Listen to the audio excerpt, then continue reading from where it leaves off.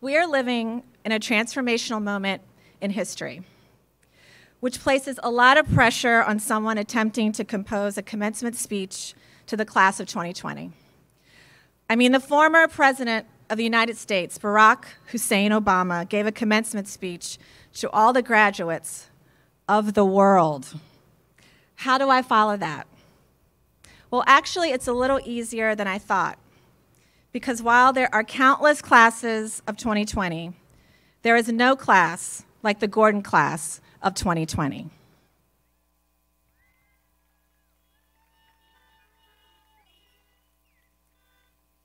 And here's how I know. Last week, the world erupted in the wake of the murder of George Floyd at the hands, or more accurately, the knee, of a Minneapolis police officer. I found myself completely unmoored from what I believe are my gifts and responsibilities as a leader of a school community during a time of crisis. Words of comfort and hope for Gordon were hard to find, probably because I was in need of comfort and hope myself. But the thing that got me out of bed at 6 a.m., and those who know me know how hard it is to get me out of bed at 6 a.m., the thing that got me out of bed and inspired me to find my words were the voices of the class of 2020. Was the memory of you singing the song All Good People as we traveled the route of the Voting Rights March of 1965 on the eighth grade civil rights trip before this pandemic took hold. Your voices are what brought me back to myself.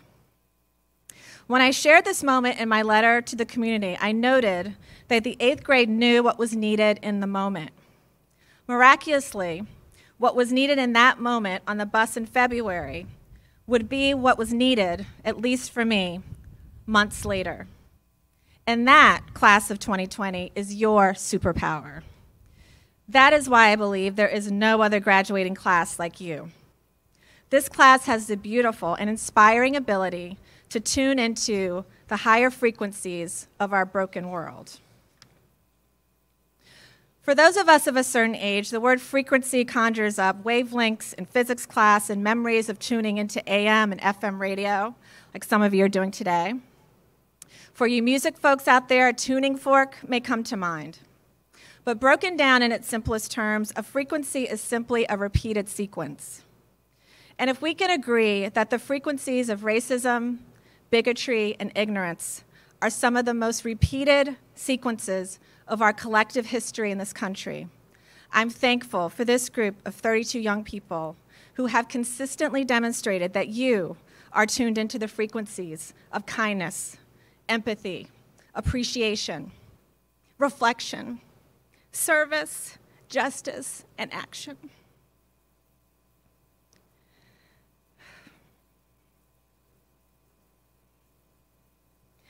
The spontaneous moment on the bus was seriously something out of a movie.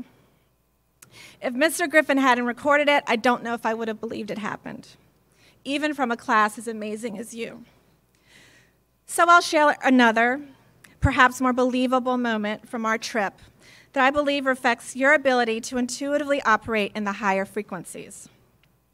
After we were finishing up dinner at the incredible Odessa's Blessings in Montgomery, Alabama, some students started to get up on a piano that was set up in the dining room, informally playing a bit of a song here and a bit there. Then a movement started to get one person to play. I won't name him because I understand he's not fond of the spotlight, so I'll just say his name rhymes with Myler Gaminzi. He clearly was not comfortable getting on the keys in front of the class, so the rest of you respected his vibe and just moved on. But then a low cheer started to rise as this student made his way to the piano, placed his hands on the keys, and perfectly played the iconic opening of Queen's Bohemian Rhapsody. While the class was not tuned in very well to the lyrics of the song, this moment for me is a lovely example of the magic that can happen when a group of young people create space for each person to operate at their own frequency and not just tolerate that frequency, but embrace it, integrate it, celebrate it. This was a moment where a repeated sequence was interrupted. a group of young people muting the frequency of peer pressure and exclusion, and tuning into the higher frequency of encouragement, laughter, belonging, and dare I say, love. You are supposed to give advice in commencement speeches, but I think we adults may have more to learn from you than you from us right now. So rather than giving advice, I will just thank you. Thank you for your example of who we should be and what our world should be right now. So while I won't give advice, I will make an observation. The class of 2020 hasn't always been able to tune out some of the lower frequencies of our human nature. I feel I cannot leave this podium without sharing that this class has a really unhealthy obsession with not only defeating, but humiliating the Gordon faculty at any kind of competitive event. With this class, there is no such thing as a friendly soccer game or harmless game of trivia when Mr. Bernstein had the audacity to suggest that we have a mixed faculty student teams for a Zoom trivia night, I believe the word that one of your class presidents used to describe this audacious idea was gross. So I'm going to need you to work on that. Otherwise, I think the class of 2020 is going to be all right. In the spirit, in the spirit of following your example of tuning into higher frequencies, I'd like to end my remarks with a poem by Susan Vanda Bittner called The Dam Has Broken, and it was written in response to the COVID 19 pandemic. The dam has broken.